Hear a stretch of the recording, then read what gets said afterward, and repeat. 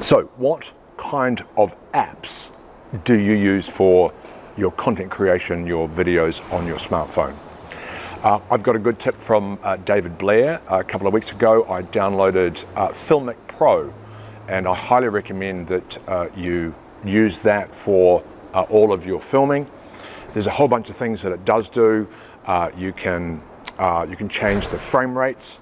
Uh, you can change the exposure inside the app even before you're filming, which really means that there is bugger all editing that you need to do in terms of changing the exposure inside your editing. So a whole bunch of things. It's got automatic panning, panning and zooming. Not that I'm a huge fan of that, but uh, you can you can do that uh, inside the app, and it's got a, a, audio leveler, so you know when your audio is working uh, with whatever one you're using. So Filmic Pro, that's what I highly recommend. You can uh, download it. It's available on both iOS and on uh, Android uh, Google Play. Uh, it does cost around about 25, 20 to 25 US dollars, but it's worth every penny. Filmic Pro. For more information, contact John Maybury, 0221 995 993.